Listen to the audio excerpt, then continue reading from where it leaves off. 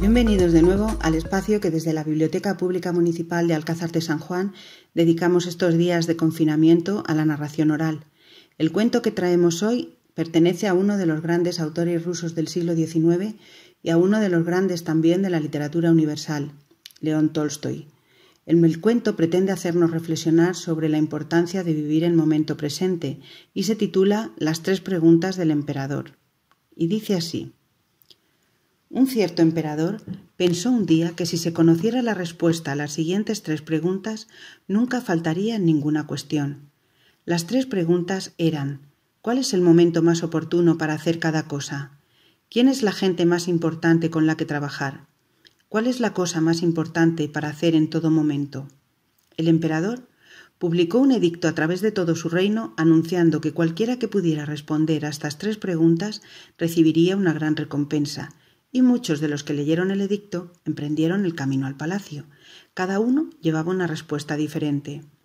Como respuesta a la primera pregunta, una persona le aconsejó proyectar minuciosamente su tiempo, consagrando cada hora, cada día, cada mes y cada año a ciertas tareas siguiendo el programa al pie de la letra. Solo de esta manera podría esperar realizar cada cosa en su momento. Otra persona le dijo que era imposible planear de antemano y que el emperador debería desechar toda distracción inútil y permanecer atento a todo. Alguien insistió en que el emperador, por sí mismo, nunca podría esperar tener la previsión y competencia necesaria para decidir cada momento cuándo hacer cada cosa y lo que realmente necesitaba era establecer un consejo de sabios.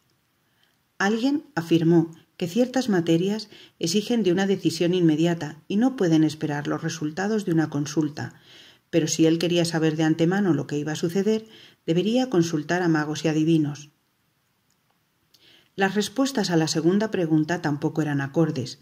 Una persona dijo que el emperador necesitaba depositar toda su confianza en administradores. Otro le animaba a depositar su confianza en sacerdotes y monjes, mientras algunos recomendaban a los médicos, otros depositaban su fe en guerreros. La tercera pregunta trajo también una variedad similar de respuestas. Algunos decían que la ciencia es el empeño más importante, otros insistían en la religión, incluso algunos clamaban por el cuerpo militar. Y puesto que las recompensas eran todas distintas, el emperador no se sintió complacido con ninguna y la recompensa no fue otorgada. Después de varias noches de reflexión, el emperador resolvió visitar a un ermitaño que vivía en la montaña y del que se decía que era un hombre iluminado. El emperador deseó encontrar al ermitaño y preguntarle las tres cosas, aunque sabía que él nunca dejaba la montaña y sólo recibía a los pobres. Así pues, el emperador se vistió de simple campesino y ordenó a sus servidores que le aguardaran al pie de la montaña. Al llegar al lugar donde habitaba el hombre santo, el emperador le halló cavando en el jardín frente a su pequeña cabaña. Cuando el ermitaño vio al extraño, movió su cabeza en señal de saludo y continuó con su trabajo. La labor obviamente era dura para él, pues se trataba de un hombre anciano. El emperador se aproximó y le dijo He venido a pedir tu ayuda para tres cuestiones. ¿Cuál es el momento más oportuno para hacer cada cosa? ¿Quiénes son las personas más importantes con las que uno debe trabajar? ¿Qué cosa es la más importante para hacer en todo momento? El ermitaño le escuchó atentamente y no respondió. Posó su mano sobre el hombro del emperador y continuó cavando. El emperador le dijo Debes estar cansado, déjame que te eche una mano. El eremita le dio las gracias, le pasó la pala y se sentó a descansar. Después de haber acabado dos cuadros, el emperador paró, se volvió al eremita y repitió sus preguntas. Pero tampoco obtuvo respuesta. El emperador continuó cavando. Pasó una hora, luego otra, y finalmente el sol comenzó a ponerse sobre las montañas. El emperador dejó la pala y dijo al ermitaño Vine a ver si podías responder a mis tres preguntas, pero si no puedes darme respuesta, dímelo, para que pueda volver a mi palacio. El eremita levantó la cabeza y preguntó al emperador ¿Has oído a alguien corriendo por allí? El emperador volvió la cabeza y de repente ambos vieron a un hombre con una larga barba blanca que salía del bosque. Corría enloquecidamente, presionando sus manos contra una herida sangrante en el estómago. El hombre corrió hacia el emperador antes de caer inconsciente al suelo. Al rasgar los vestidos del hombre, emperador y ermitaño vieron que el hombre había recibido una profunda cuchillada. El emperador limpió la herida cuidadosamente y usó su propia camisa para vendarle, pero la sangre empapó totalmente la herida en pocos minutos. Aclaró la camisa le vendó por segunda vez y continuó haciéndolo hasta que la herida cesó de sangrar. El herido recuperó la conciencia y pidió un vaso de agua. El emperador corrió hacia el arroyo y trajo un jarro de agua fresca. Mientras tanto se había puesto el sol. El eremita ayudó al emperador a llevar al hombre a la cabaña y le acostaron en la cama del ermitaño. El hombre cerró los ojos y quedó tranquilo. El emperador rendido tras un largo día de subir la montaña y cavar en el jardín, se apoyó contra la puerta y se quedó dormido. Cuando despertó, el sol asomaba ya sobre las montañas. Durante un momento olvidó dónde estaba y lo que había venido a hacer.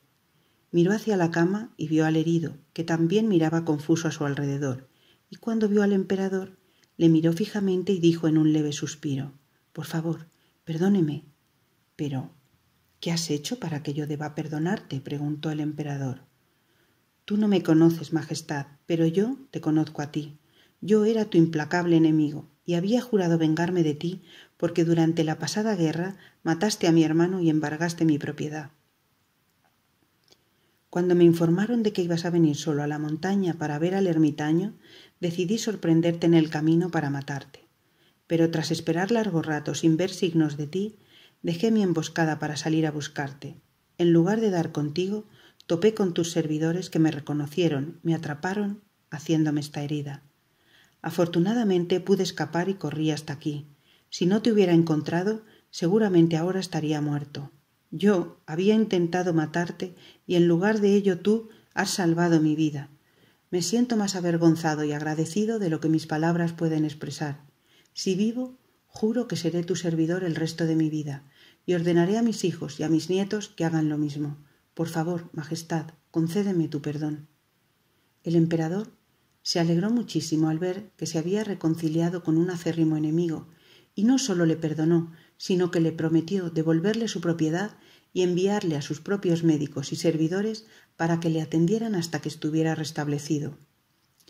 Tras ordenar a sus sirvientes que llevaran el hombre a casa, el emperador volvió a ver al ermitaño, antes de volver al palacio, quería repetir sus preguntas por última vez. Encontró al ermitaño sembrando el terreno que ambos habían cavado el día anterior.